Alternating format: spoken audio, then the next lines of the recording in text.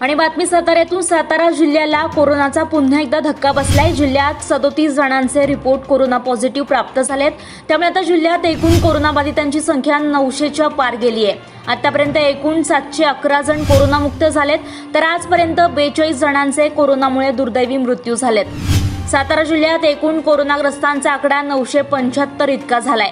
जिल्हा शल्यचिकित्सक डॉक्टर अमोद गडीकर यांनी ही माहिती दिली आहे. सातारा जिल्ह्याला पुन्हा एकदा कोरोनाचा धक्का बसलाय. कारण जिल्ह्यात सदोतीस जणांचे कोरोना रिपोर्ट पॉझिटिव्ह आलेत.